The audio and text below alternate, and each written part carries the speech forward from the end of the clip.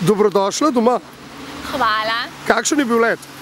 Let je bil odličen, jaz sem tam čakala, da prijem domov, tako da vse super, končno sem doma. Ej, kaj pa to vreme? Pa... Groza, jaz sem prišla iz 35 stopinj sončka, sem, ampak vsem, sem doma, Slovenija.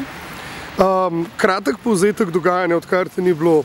Kako si se imela, kako si se počutila, kaj si novega videla in doživela? Uh, videla sem vse novo. Uh, najbolj mi je v bistvu spominjalo ostalo to kultura, ljudje, uh, okoliš na Filipinih, zato ker to je čisto nekaj drugega, kar je pri nas. Um, rač, na, nasploh mi je bilo ful všeč, tudi plaže, potapljala sem se, šopingirala, v bistvu do finalnega dneva ni bilo neke tekmovalnosti, na finalni dan se je pa pol pokazalo, kira punca je s kakim namenom tam, pa kaj bi za to naredila.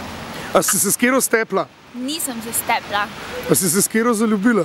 Tudi se nisem zaljubila. Sem, imam pa, imam pa par novih dobrih prijateljic in sem zelo vesela, da je to ena pozitivna stvar z tega tekmovanja. Uh, jaz sem zelo ponosna na svoj uspeh, ampak ko si enkrat med top 16, Uh, in začneš razmisliti za nazaj, kaj je tisto, kar ti je manjkalo za top 4 ali za zmago, uh, je res ta pripravljenost drugih deklet. Dekleta pridejo na polno pripravljena z devetimi kovčki, z oblekami, z desetimi pari čevljev, vse, vse, vse imajo s seboj, razne svoje slike, ni da nino.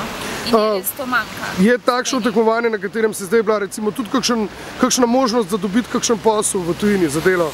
Je možnost, jaz dobila posel in sem bila v bistvu fotografirana za največje supermarkete na Filipinih, SM, in sem tudi na to zelo ponosna. Uh, in je možno dobiti delo, seveda. Kaj si najbolj pogrešala, kot ni bilo? Najbolj sem pogrešala svojo družino.